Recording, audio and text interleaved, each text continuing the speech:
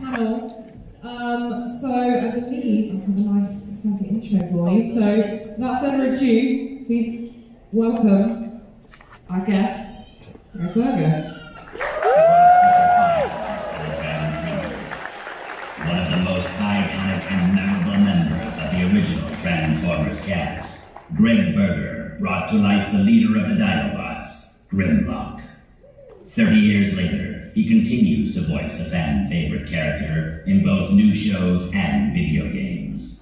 But his connection to the world of the Transformers does not end there, having voiced other memorable characters such as Skyfire, Longhaul, and Outback. Mm-hmm. In Gregg's 30-year plus career, he has also lent his talents to such notable properties as Metal Gear Solid, Garfield, and Winnie the Pooh. He is no bozo. He is a king.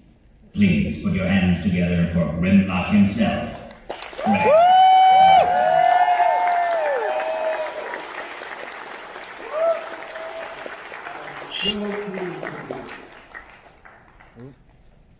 Hi, hi. What an It's been a very busy morning. It's been a busy morning for a king. So great.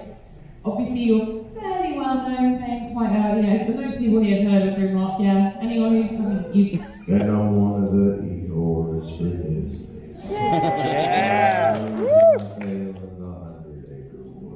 And I'm Squeak the Mouse on the Garfield show, so that's fun. And uh, Herman, uh, Harry Alley Cat, who lives in a garbage can a few doors down because food tastes better after it marinates for a wee bit. and the mailman was always afraid to go to the Arbuckle house because that cat. and Odie. Wow!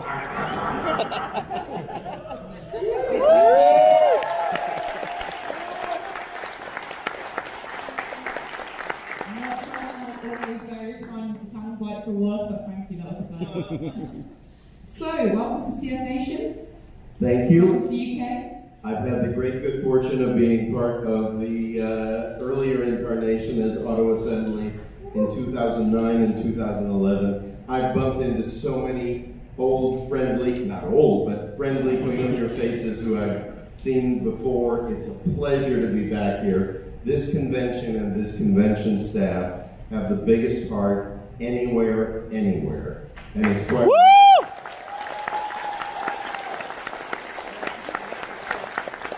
Well, thank you.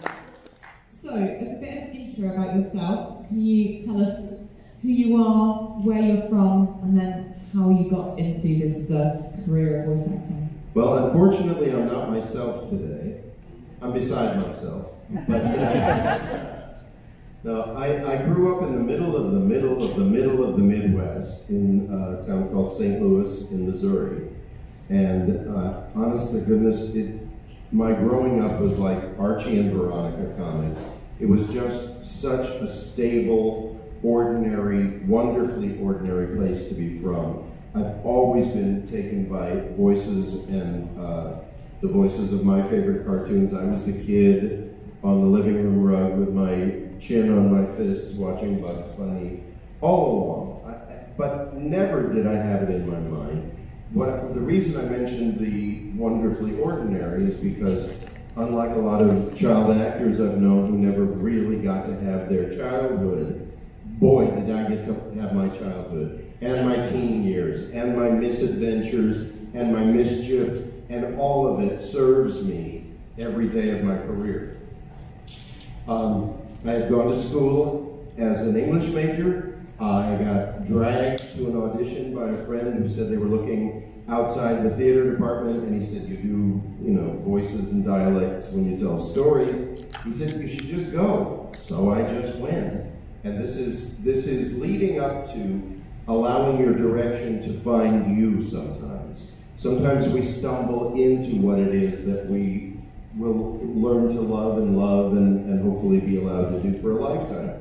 Uh, I went, I got the part in a beautiful English drawing room kind of black comedy farce, a Joe Orton play, uh, and opening night, the head of the theater department said, what are you doing in the English department? And I said, I guess I'll be a teacher. I don't know. I don't know. He said, don't stop doing what you're doing but he said, You're exactly the kind of actor that we like to cultivate. He said, Please include this in your field of vision moving forward. So I kind of got invited in, and it's not the last time that I've been invited in. Uh, my first agent outside of St. Louis was in Chicago, and I had the luxury of knowing that I was working there, but I always uh, had sort of equal parts of optimism, naivete, stupidity, and I thought I would find out what else was out there. So I went to Los Angeles. Um, fortunately, I, I, began getting cast in plays right away, uh, some TV, uh, some film, so a little bit of everything that I went for. But it was in a play in Los Angeles uh, that I was seen by Gordon Hunt, who was at that time doing all of the voice direction at Hanna-Barbera. He came backstage and said, if you're as versatile as what I just saw on stage, we should know about you at Hanna-Barbera. I got invited in again. That sounded like Eeyore. Again. I lost my tail. Again. Uh, but I got invited in again. Uh, and I had a great good sense in that moment to say, hey, you've had my demo uh, for months. If you can move it to the top of the pile from the bottom of the pile, I would love to be considered for, for what you're doing. Well, he had me in. He told the story. Um, at the time that I said, kind of busted him, he said, geez, you got a lot of nerve, don't you? And I said, normally, no. I can be polite at my own expense, and you, it's all good, it's always good. Um, and I'm a terminal optimist, you know. Uh, it'll kill me someday, but I'll die with a smile on my face. Um, I'm a dream feeder, I'm not a dream killer. When I teach, uh, it's with a complete understanding that they're always looking for what comes next that they don't already have. The mistake a lot of people make aspiring voice actors is uh, they have a reel of things that already exist. Well, those people already exist and they are the go-to. So what you want to focus on, if, if that's uh, a field that you're interested in, is something that's not already at the table. You know, they'll always pay attention to what's new and what's next. Awesome. So you give us a little taste of various different characters that you've voiced over the years. Do you have like, what is your relationship to the characters that, that you play? Are there any that you actually feel really embody, or and how many do you just completely forget about? You've done a couple of lines and then you move on. I am of the opinion that you reach out to the character and the character reaches out to you. And hopefully what you create has something of the core of, of the actor in it, but also allows you to reach out and go someplace you haven't been. Like Cybertron, for example. but um, like my children, I can't tell you which is my favorite. They're all my favorite and all for different reasons. And sometimes it's the production team, sometimes it's the scripts, sometimes it's just the camaraderie of being in the booth.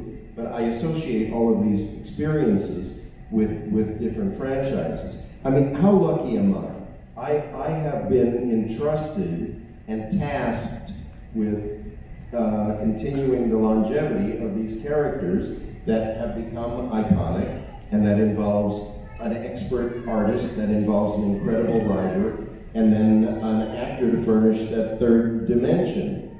But I, I see it all as collaborative, and I, I love the collaborative aspect.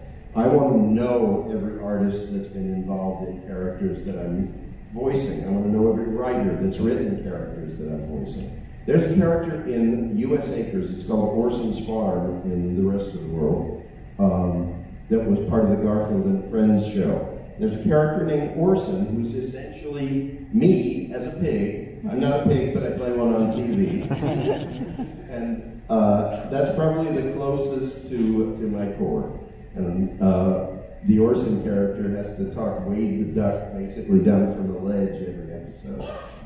So I, I like I like characters where I'm kind of the anchor for other less stable characters. But I love characters that have anger management problems because I get to chew the scenery. In Our Real Monsters for Nickelodeon, named the Gromble. Oh, Atheist Krumm, oh, please. You're late for class. Sit down. Your monster books. I, I like I like when I can read all my highs, all my lows, all my in-betweens, and all my temperament. So it's all good. I, I, I, I, I probably should be able to be more specific. I'm really happy to tell you that I can't be because I love them all for different reasons. So speaking of characters with anger management issues, Grimlock. Yeah. Why boy hit my nose? So tell us a bit more about Grimlock. How did you end up with that role? In that time when I had begun uh, doing animation, I did an audition for Wally Burr, who was the director of not only Transformers but G.I. Joe. Um, he had cast me in a show called The Littles, in a character that was very similar to just me in that time. The same show that I was talk- talking about earlier, Wally also saw. He said, I kind of had you pigeonholed. Uh, uh, I liked your work, but he said I had no idea how versatile you were. He said, I'm going to think of you for everything. And he said, I'm starting these this enormous project where we're casting G.I. Joe and Transformers. And I want you to come in and I want you to read for things. So uh, the way he the way he did it, he would keep a number of characters out on the table with breakdowns, and he would let actors choose three characters that they felt strong about reading for. Well, I saw Grimlock, and it said uh, "big muscle, small brain." I thought that's me. I saw his jaw was hinged, so I, in the early episodes, I, I kind of restricted my jaw. Now I can do it, you know, in my sleep. Uh, and I tried to bring that to it. And uh, I did a panel with Peter Cullen where someone was asking why Optimus Prime rose to the leadership role in Grimlock always wanted to, but uh, sought to do it and, and couldn't. I said, I can sum it up in three words. Ready, fire, aim. I said, I said, of course, of course, we all hope for measured leadership. Uh, you know, the guy that doesn't fire before he aims. Anyway, it went over well then, it went over well now. It, it kind of is how I define it. And how have you changed the voice of Grimlock over the years? The thing about being an actor and being tasked again with with uh, coming in every week, and you find out the arc of a character while you're doing it. You're kind of learning while you earn. Well, uh, uh, the most notable case in point is when I walked in and they said, "Oh, you're getting a new brain this week." I said, "What?" I said, uh, "Yeah, uh, it's, it's, it's a story arc. Just go with us." And some years it was more for comic effect, and some years it was it was more for just that ability to tail swipe and end any conflict. Uh, so he got all of those aggressive aspects, but then boom, he got a new brain, so we went with that. And so I had to figure out how I Grimlock would sound, as opposed to me Grimlock. Um, and and Grimlock has the good sense in the story arc to give that brain to Computron because he's having more fun being me Grimlock than I Grimlock. Um, so every show that has story arcs and features different characters, you just you you if you're if you're on the ride, you're on for the whole ride, you know. Uh, but to be gifted with not just a job, but a job that recurs, and then the recur becomes a regular, and then the regular goes through seasons. There's going to be changes, and you just go with the flow. I now we're back to doing what comes next. You know, you walk in, see a new script, and it takes you on a new ride. And for me, as an actor, every time I'm handed a new script, I'm Cinderella going to the ball.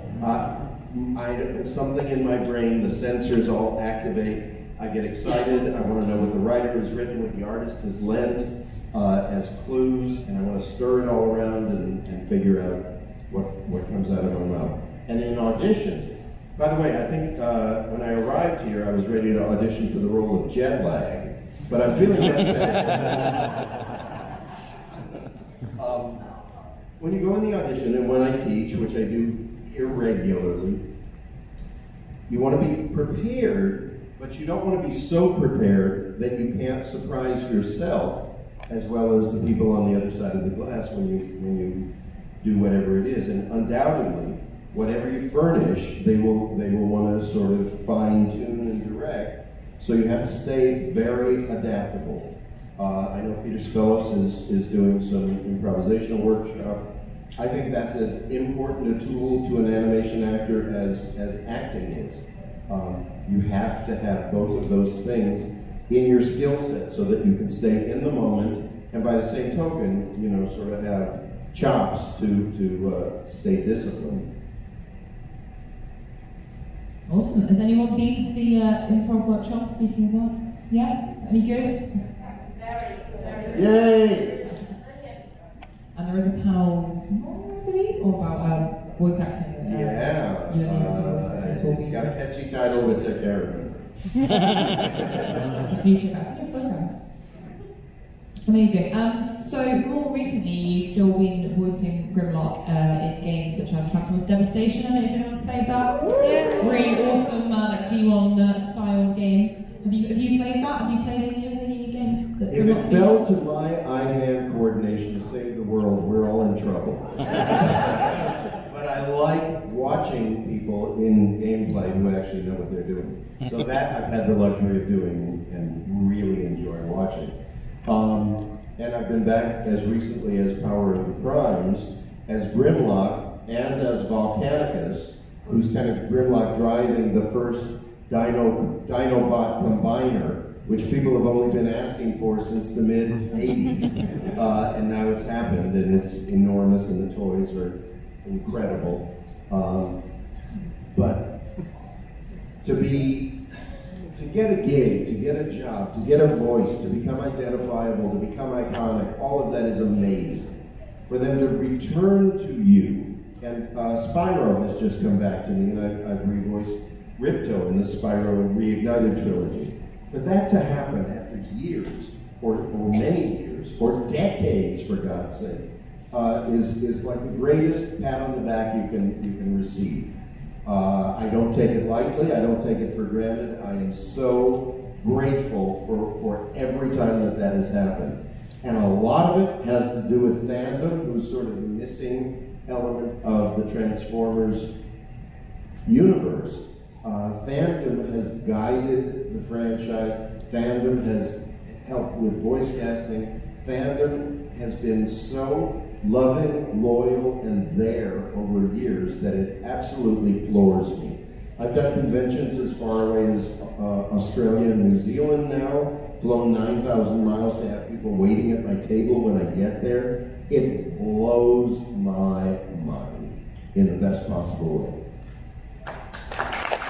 saying fans can help influence casting. Absolutely. Contracts, guys.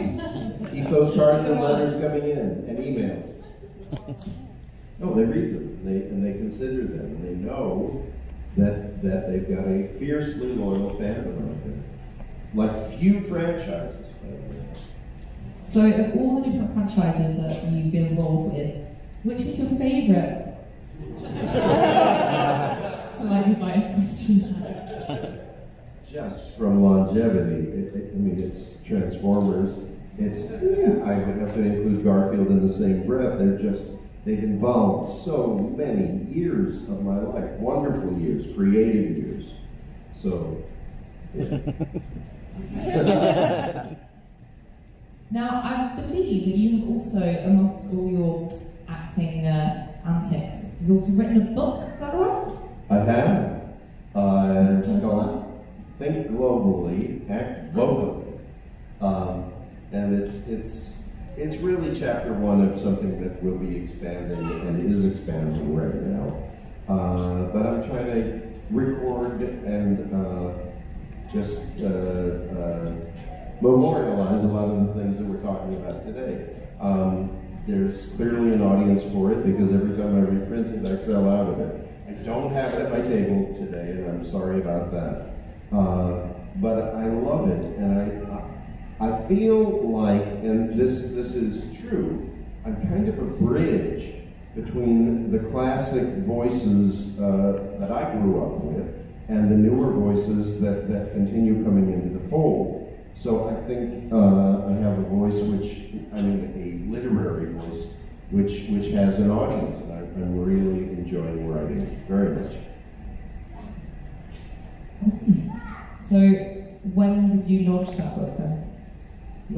It's continu- It's never stopped la- launching, but uh, it first happened probably eight years ago. Uh, but I realized uh, that not telling the whole story, so I, I'm continuing. It's continuing to evolve, and I really enjoy the process. We have a we have a poster at our house that says, "Go to your studio and create something." Uh, and those are great words for anyone who considers themselves a creative anything.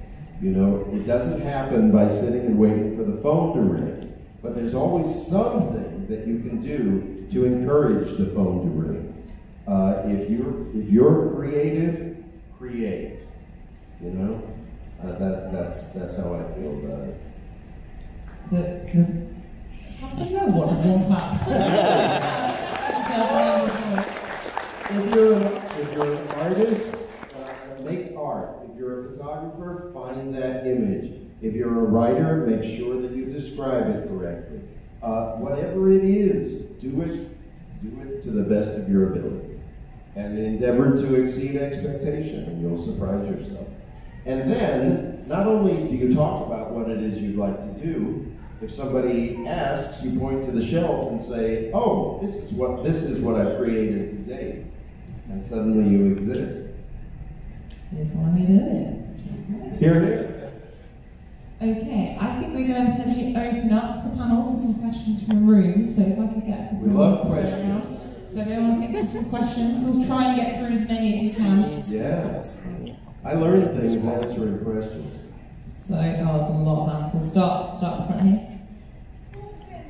Oh, For Grimlock, is he a bozo or is he a king? Me Grimlock, no bozo, me king. And thank you for your question. I hope that was clear. Easy. That, that was a very simple question. um, That was great. Thank you. Whatever. Sorry, we'll back to you. Hey, hey. Can you please tell us about your experiences working on Transformers the movie and how that differed from working on the series and how it felt uh, seeing and hearing Grimlock on the big screen as part of that experience? It was, as recently as last summer, they recreated a big screen experience for the 86 animated feature. Uh, and the audiences that I was part of uh, were full, people were throwing popcorn, people were saying the lines. It was almost like a Rocky Horror Picture Show at, at this point.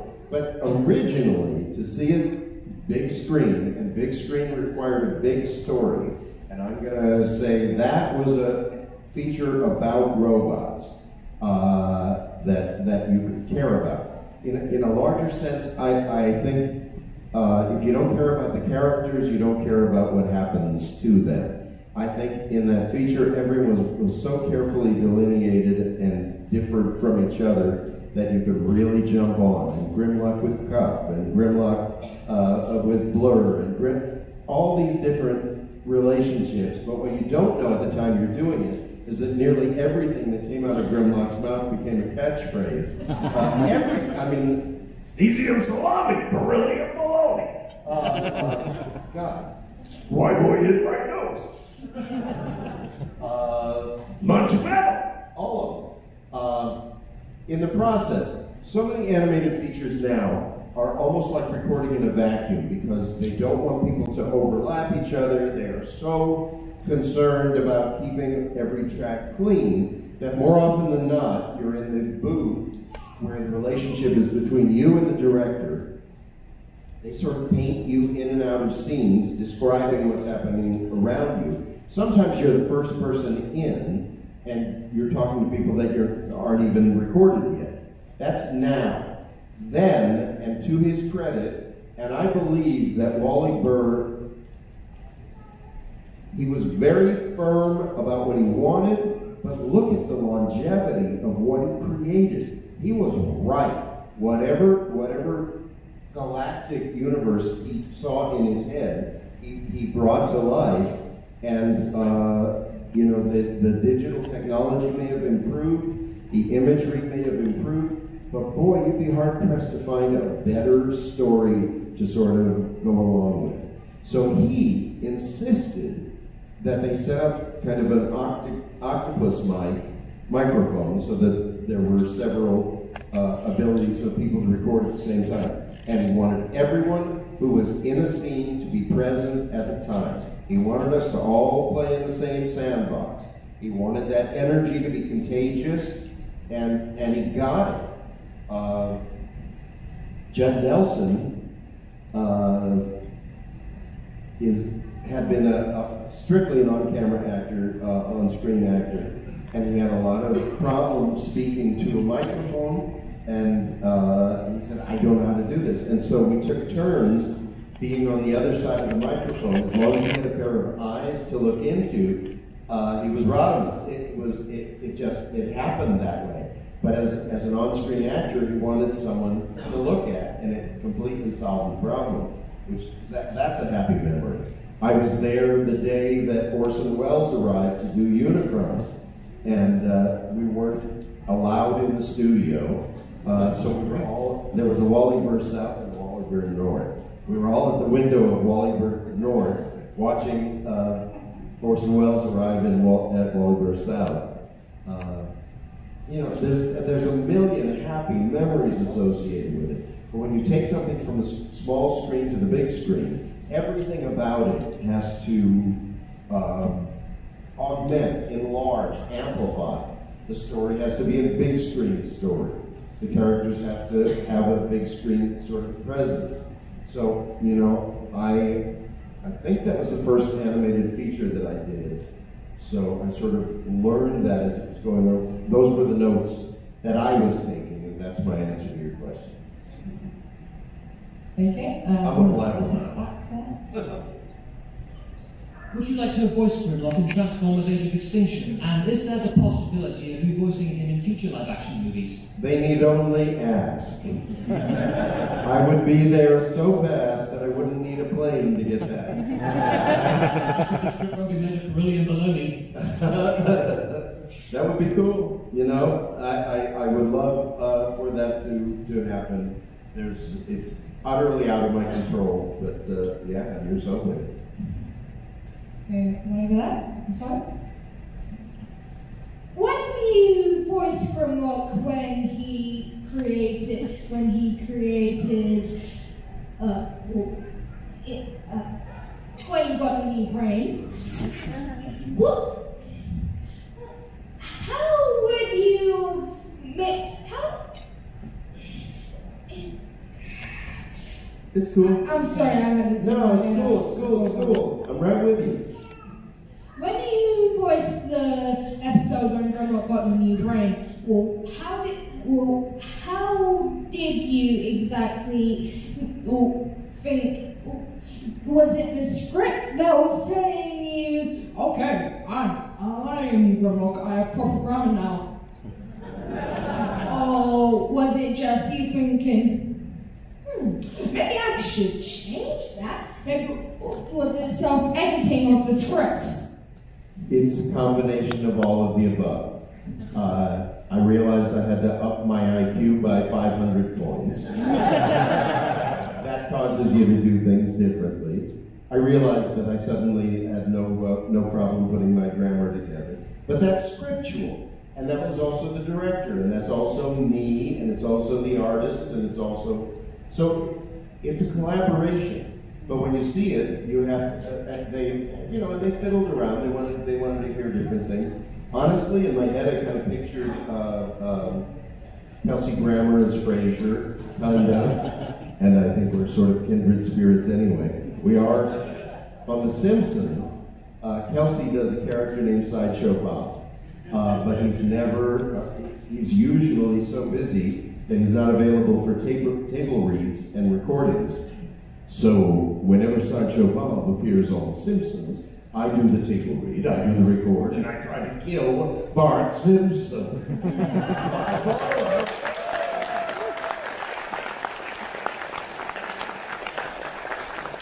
And when Kelsey has time, when he's on hiatus, he comes, it's his character, and so he comes in and uh, does, in post-production, and lays the voice back. But I had to sing for him and uh, read for him, I, you know, and I love the association, and I get invited to all the parties, and I get all the Christmas gifts. and all the people in the cast are my friends from way back, so that part's great too. Uh, but honestly, I did borrow from that. Uh, you should be very flattered because when I lifted my uh, IQ by 500 points, I ended up there. At any rate, it's a combination of all of the above. It's a great question. Uh, I can't say writing wasn't involved, art wasn't involved, and just creativity wasn't involved. We all agreed uh, on what ended up being the voice. Thank you, and I wish you well for that leather tent. Thank you. Oh, oh, I agree. That's a new quote of the weekend. Oh, I agree. You got a question about there? Hello, Greg. Hey, hey. Um, so, um, another character you'd uh, voiced was um, the Great Jecht from Final Fantasy X. who- Well, somebody had to teach that kid to play blitzball.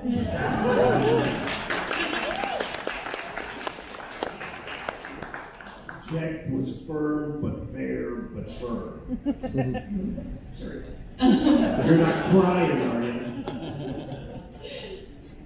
Um, so my question is, um, because Jecht was like a much more aggressive character, um, how did playing him then compare to playing someone like Grimlock?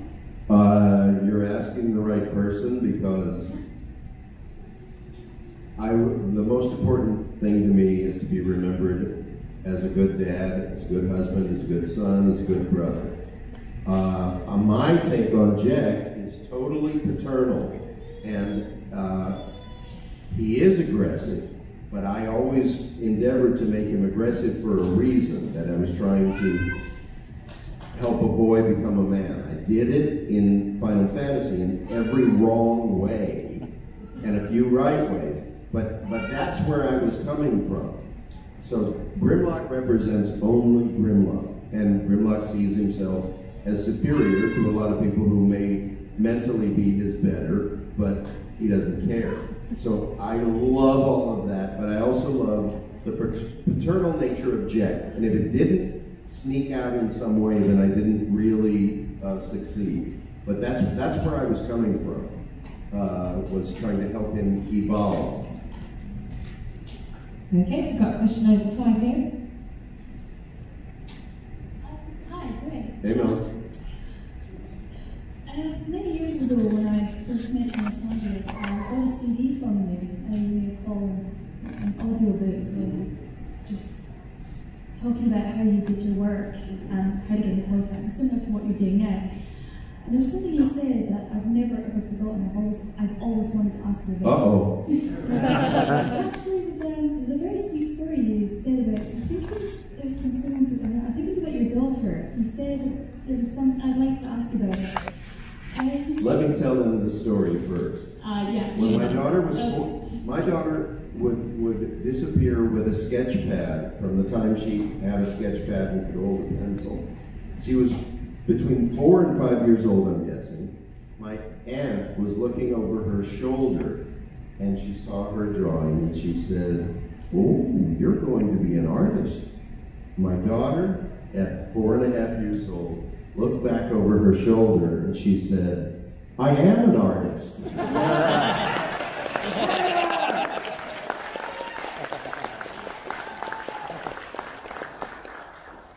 get more clear than that. Well, No, there was a follow-up. Uh, yeah, sorry. Um, the question I, the question I wanted to ask you on that. Thank you. very Yeah? much, Because um, it's nice to know you know what I'm talking about. Yep. I was just wanted to ask. Um, I was wondering if perhaps maybe you could speak more about that, and it, it, it made me think about uh, something I'm into personally. I don't know if you've heard of it, called the law of attraction. And your daughter pretty much did, did, did that very same thing, where she said, where she said, "I am an artist," and she's already envisioning it before actually becoming it and drawing it to her. I don't think she was envisioning it. I think she was claiming it. There's a difference. I I think. think, yeah. And the question here? Sorry, I delegated to the boy my arm. I, I told you I'm a terminal op. um, Greg, I think you're uniquely qualified to answer this question. I just punched myself in the face with it. Why do you have your nose? Why boy hit my mouth? Um, Greg, if, if you're if you're okay, um, what do you think the Dinobot combiner would actually sound like? He already does in Power of the Primes. It's Grimlock in the controls. He's augmented, he's overbearing, he's big, and he's got. It's like if you. It, It's it's Grimlock on steroids. That's what it is. He now gets to borrow from all the other Dinobots, and boom, that's great fun. Uh, in the front, Michelle? Um, if you could choose any of your friends, uh, voice actors to play Grimlock, who do you think would make a good Taylor? My friends, Fred Tatasciore, I would say. Uh, yeah, he and I sort of tread the same waterfront. And, and, you know, there are all the people who came in at the time I did, and then just like you as audience, we as industry sort of embrace the best of the best as people come up, and it's kind of thrilling, honestly. Um, Jason Marsden is a magician for, for younger stuff, other stuff. There's there's so many great people now. Robbie Daymond is fantastic. Um, I, mean, it's a long list, but but Fred covers that waterfront pretty pretty good. Uh, also? But here's some uh, animation trivia. G1 Megatron and G1 Grimlock are also currently the voices of Garfield and Odie. that could win you Trivial Pursuits. And it says something about vocal versatility. Frank Welker is now the voice of Garfield. We lost Lorenzo Music some years ago, and Frank did it as an absolute homage to, to Lorenzo, but he's also made it his own. Anyway, that's I, I think that's pretty cool.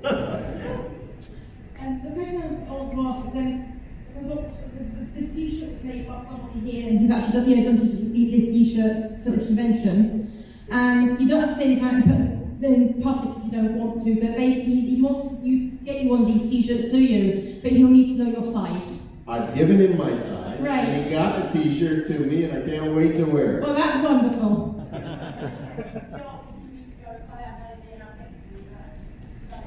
Any questions? Uh, right over here? In the middle? Oh, sorry. I can't, can't see right over here. Hi, Greg. Hey, hey. Um, in recent years, I've become a father, and so I've been watching lots of Disney movies repeatedly and repeatedly and repeatedly. Give it five years, you'll get to watch HBO again. and in, in some parts of the credits, when you get to additional voice actors, I often see familiar names such as Mr. Greg Berger. Wouldn't that be nice? And isn't it nice? Yes. But I'm, you are Mr. Versatile, but I put my trained ear out, and sometimes maybe I think maybe that could be, and then equally maybe you recorded something, and it doesn't make it. Can, can you tell us a little bit about what these sessions are doing, additional voices is like, and do you ever find out if you've made it, or do you just turn to the cinema and go, oh, there's me? Uh, both. Additional voices is usually a group of us that are all versatile but also disciplined, and what we're doing is filling in a lot of the background voices like Monsters University, uh, uh, um, what's the one with the minions? Uh, Thank you. Three, uh, but, but several. We'll, we'll be called in, we'll be there for a day, and they'll say, there's a crowd here, we need the third from the left, the last from the right, the guy who screams down as, as they're going through. And we cover things. And sometimes we cover more than things. Sometimes there's two people just out of frame that are having a conversation and they want something to uh, um, approximate that conversation. So you go up in groups of two. Sometimes there are uh, people, they'll put us in a circle and just have us improvising as we go around. They'll describe a scene and have us making comments about the scene. And then they'll place them however they wish to place them. So obviously, it's, it's, it's a great place to be. It's a wonderful thing to have your name on and attached to. Uh, but I try to pick myself out also. And sometimes I can, and sometimes I can't. But, uh, you know, those are great rooms, very festive, and you're in the presence of, of uh, these extraordinary creative people. And that's where I seek to be. That's what, that's what feeds me. You know, go where the food is, and that's what I try to do. Uh, I've got a question in the back there. Okay, so Hello, hi. yeah. Um, so I've kind of got a barrel question. Um, so uh, the first part would be in regards to like uh, Grimlock's uh, uh, statements he says. Have you ever created one? So has it always been the writers, or have you gone actually no? Grimlock really should say something more like this. I really uh, respect the writers and like edited or put something through it to make it more robotic sounding or I mean the growl from the movie itself sounds like you but then it has something else going on in there. to the best of my ability, uh, you know, they may augment in some way that happens in post. Uh, when I hear it, I, I believe it's, it's very true to me, and I try to inflate myself to the size of, of that character. Um, so I don't know. I, they certainly have the, the, the, the right and sometimes the reason to do that. Uh, there may be a little, I think they may add something that kind of gives it a metallic kind of cling, uh, clink. Uh, but I don't know. That's all outside my hands. Thank you. Yeah, yeah, yeah. Okay, I think we've got about time for So there's three more questions. You can try and keep it quite brief. Um, so we've got one at the front here. The lightning round.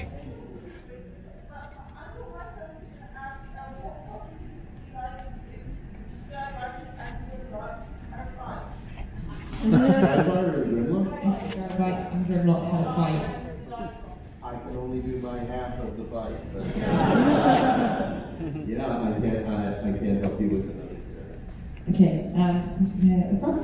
Hi, um, I'm conscious of your um, uh, non-disclosure agreements, but are any of your future projects Transform related?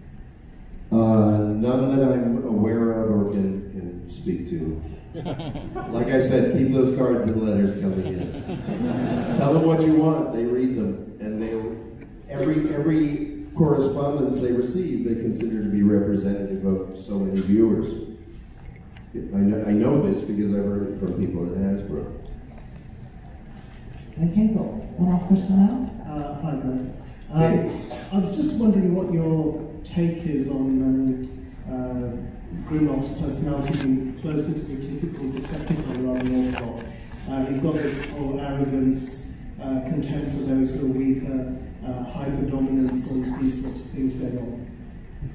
I think what distinguishes him is that he wants to hear about Petro rabbits, and he loves Kup's war stories. He's, and, and he's got he's got things that put him on the, the right side of Decepticon or the, the other side of Decepticons. As an auto, as a Dinobot, uh, you know that that that pure aggression is always for me tempered by something that's that's kind of sweet that that he lets slip out. Uh, that's how I've always played it. That's how it's always been presented. Um, but then you're back to ready, fire, aim. You know, he, he, uh, he just wants to come in and tail swipe everybody, uh, or everybody that he perceives as the other side. Okay. It's a good question, though. He's, he's on the Decepticon side of Autobot, but he's on the Autobot side of Decepticon. now he's Skyfire. Fire in the Sky, Skyfire, if you remember, he was uh, created Decepticon, best friends with Starscream, lost in the ice, rediscovered by Autobots, and he didn't know who he was. Uh, he, he had to figure out what was important to him. I actually, I actually love that arc of early Transformers because he's kind of got a moral dilemma and uh, he's attempting to choose wisely, which he does. Okay, I'm afraid that's all the time we've got, um, all the questions we've got time for. Great questions. Um, we've got one last thing that we're doing with all of our voice actor panels. So we've got a very quick fire 10 questions. So you've got to just give us the first answer pretty much that you can think of. So, what is your favourite word, Greg? Favorite Your word? favourite word? Create. Nice. Or brand. um, what is your least favourite word? No. PG. Uh, again, PG. What turns you on? Don't miss something good. Scripts. and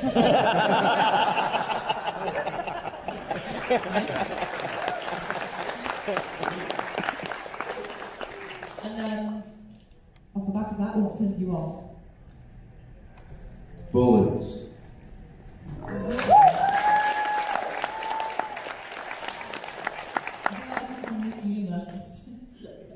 Um, what sounds do you love?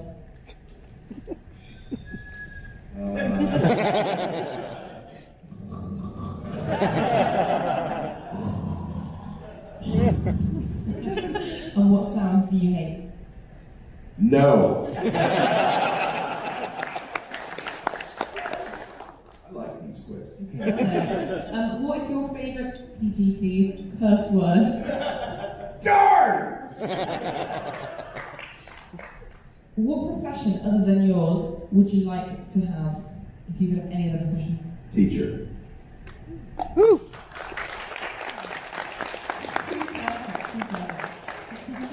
Uh, and what profession would you absolutely Not like? electrician. Believe me. And then, very last question. If heaven exists, what would you like to hear God say when you arrive at the pearly gates? Nice job.